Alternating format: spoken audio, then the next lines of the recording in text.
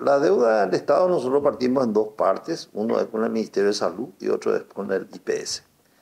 Eh, casi, casualmente, casi son cifras muy similares, estamos hablando de un monto muy importante, eh, estamos hablando de alrededor de 500 millones de dólares entre las dos, entre las dos instituciones, de los cuales lo que se refiere a la deuda con el Ministerio de Salud, nosotros eh, tuvimos la suerte y la oportunidad de trabajar con tiempo con la gente del nuevo gobierno.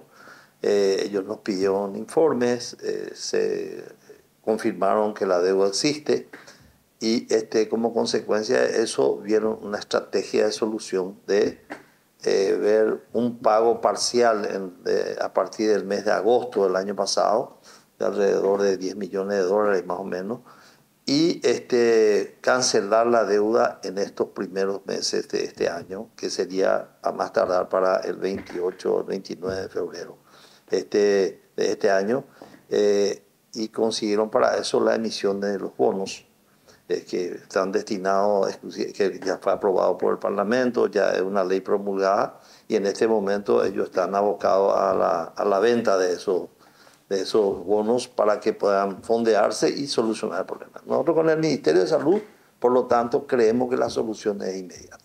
Ahora, no ocurre lo mismo con IPS. IPS este, está en una situación muy difícil, está con una iliquidez y, y las necesidades en las dos partes son iguales.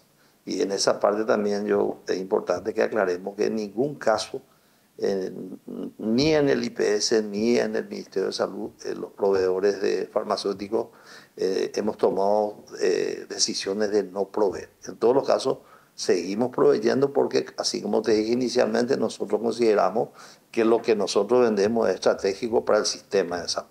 Entonces, la provisión se sigue haciendo, pero todos estamos pasando ya un momento difícil porque el monto que estamos hablando un monto muy importante y, influye ya en el capital operativo. Influye en el capital operativo y en los costos también, ¿verdad? Esto también hay que eh, ser sincero, ¿verdad? Porque si yo sé, si yo no tengo una previsibilidad de cobro, normalmente si te voy a vender voy a prever lo peor, o sea, voy a prever el peor plazo, por lo tanto, los costos están este, incluidos dentro de nuestros precios de ventas en este momento, especialmente en lo que se refiere a las licitaciones públicas. Pero ahora, si Dios quiere, yo creo que se va a solucionar. Son contratos abiertos. Eh, nosotros tenemos contratos, son las licitaciones eh, tanto del IPS como del Ministerio de Salud son contratos plurianuales, son contratos abiertos y ellos van solicitando para lo que necesitan.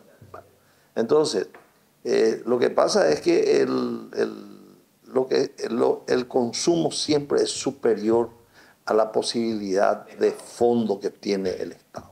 Eso es sinceramente, o sea, eso es una cosa insaciable. Entonces, este, siempre hay un descalce, hay un descalce que, que, crea este problema que tenemos y entonces al final se acumula la deuda. ¿Esto, presidente, se disparó en la época de la pandemia ya se venía arrastrando? No, ya, ya se venía arrastrando, ya se venía arrastrando desde la implementación de, la, de, de los contratos plurianuales. O sea que ese, ese mecanismo hizo que de repente se vaya este, pateando para el año siguiente los compromisos financieros del año anterior. Y eso de repente se acumuló y estamos en un monto que, que nunca se estuvo. Por eso que también este nuevo gobierno está buscando una solución definitiva.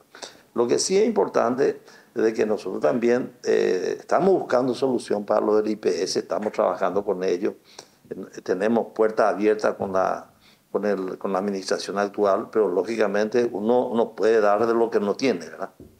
Entonces lo que se está viendo es encontrar una solución de una modificación de la, de la ley de IPS para la parte de la redistribución de los aportes que están recibiendo en concepto eh, mensualmente.